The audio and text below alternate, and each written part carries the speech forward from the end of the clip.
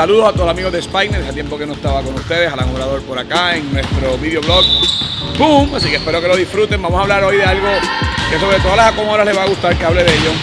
Porque nuestras centrales pues tienden a no querer transicionar bastante bien y tampoco estar en ángulo hacia el centro. Eh, y parte de los drills que estamos haciendo nosotros con las nuestras, pues tenemos una máquina que nos facilita el trabajo, pero básicamente es trabajar con la mecánica de los pasos y más que nada que aprendan las centrales a entrar en ángulo.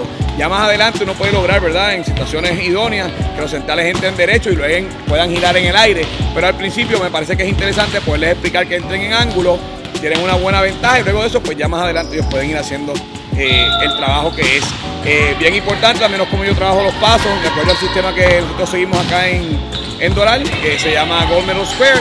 Con los pasos hay una métrica específica, ¿verdad? En este caso están viendo a Sofía Lugo, una jugadora que lleva solamente un año y un poquito más esté trabajando, es central. Y luego de que ella está bloqueando en el lado derecho, pues hace tres pasos que los hace en forma como si fuese un triángulo y luego hace tres pasos nuevamente para atacar la colocadora.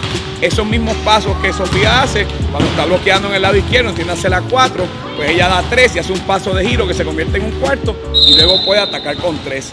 Ojo, esto es como se practica en un ambiente eh, donde yo controlo las variables, pero en el juego eso puede convertirse en tres pasos, en dos pasos, ya está en uno, de acuerdo a la situación. Pero nuevamente uno no empieza explicándole a los atletas las cosas más complicadas, sino las más sencillas. Porque esto es importante, pues últimamente en torneos y en los equipos que tenemos acá, he hablado con los coaches para trabajarlo, muchas veces las centrales van y bloquean, y luego de bloquear se quedan en el mismo medio, sobre todo chocando mucho con quién, con las acomodadoras. Entonces pasan dos cosas, no solamente el choque, sino que esa jugadora que viene de bloquear, que está transicionando, pues no transiciona ella, no está disponible para pegarle a la bola y el central del otro lado puede decir, bueno, si ella no está ahí para pegar, pues entonces voy y me monto y trabajo sobre las jugadoras que puedan estar en las puntas o en las esquinas.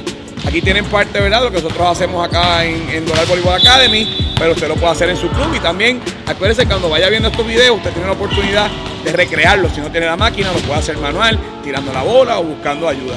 Espero que les hayan gustado los pasos, los pueden ver ahí, les pueden dar para adelante y para atrás, para que tengan más o menos unos pasos básicos.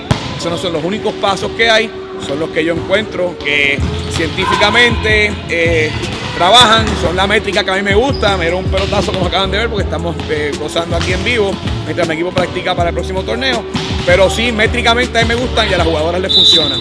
Espero que les haya gustado este videoblog de Boom y los espero en el próximo que los he tenido un poquito abandonaditos, pero próximamente estaré tocando otros temas, uno que sé que les va a gustar en específico que es cómo manejan los padres, cómo explicarles eh, sobre el tiempo de juego y a los jugadores también cómo deben de hacer el approach al coach para ganar eh, tiempo de juego, que usted sabe que eso se gana en la cancha y que entonces pues los coaches les den una oportunidad de saber a los padres cómo hacerles llegar a sus hijos su información para que sus hijos sean los que hablen con el coach. Así que yo sé que esa capsulita les va a gustar mucho, próximamente se las tendré aquí en Boom. Que la pasen bien.